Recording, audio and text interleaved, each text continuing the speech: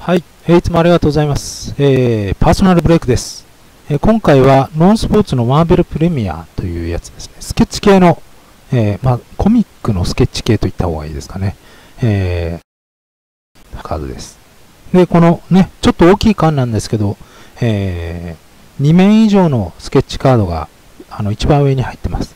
まあ、大判であったり、3面であったり、4面であったり、いろいろします。一応ね、うちのホームページ、こちらね、ここね、えっ、ー、と、ノンスポーツのところなんですけど、これですね。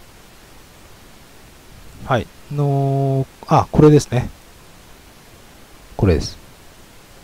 こういうね、えー、スケッチカード系のものがあったり、大判があったり、ね。あとこういうインサート。まあ、レギュラーカードですけどね。あとスケッチのオートグラフとかもあったりします。はい。これでワンボックス、えー、いろいろ入ってるような形。まあ、スケッチが2つは入っているような形ですね。はい。では、えー、マーベルプレミアですね。えー、ご依頼者タカさんです。はい。よろしくお願いします。一応、あの、このまま送るので、傷つけないように。よ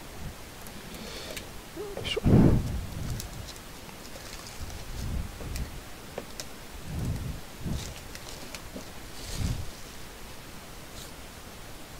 はい。で、えー、パカッと開けるともう大判が出てきます。大判か2面か3面か4面。うん。3面かな？キャラクターはね、店長全然わかりません。はい。3面です。で、えー、折りたたみ系のは最大で4面まであります。で、表も多分、裏か。あ、書いてありますね。こっちの方がいいじゃん。えー、カロス・エドワールドさん。ですね。えー、コミックや手帳よくわかんないですけど。このキャラクターなのかな ?X メンなのかな？スタンド使うんですか？違うか。ちょっとわかりませんけどね。えー、こっちが多分表紙だと思うんですよ。で、こっちが中身だと思うんですね。表紙の方がいいですね。はい。カルロさん。いいですね。一応、ちゃんとアーティストってなってて。サインが入ってます。はい。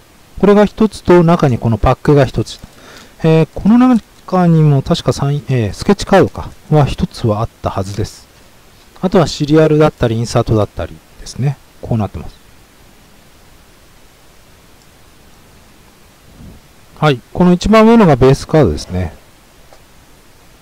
誰でしょうセントリー、セントリー、センチュリー、セントリーですかね。これね。104の125ですので、ベースですね。はい。で、ダイカット。はい。アイアンフィストさん。これは、これもね、確か金色のホイールだとパラレルがあったりします。で、スケッチもう一枚。なかなかいいんじゃないですか。ね。はい。ハルクの女の子版。はい。非常によくかけてますね。うまいですよ。はい。まあコミック系ですからね。実写じゃないですから。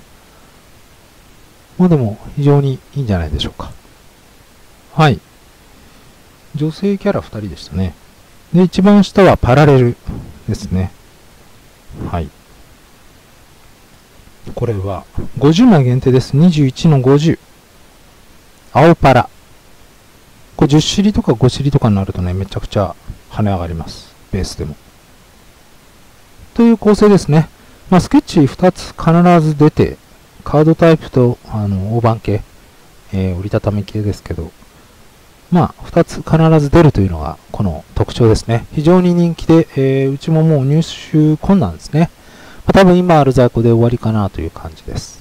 まあ、どんどんどんどん値段上がっちゃうんだ、ここでストップかなと思います、店長的に。在庫があるうちによろしくお願いします。はい、じゃあ2017のマーベルプレミアでした。はい、ご依頼したタカさんでしたね。はい、ありがとうございました。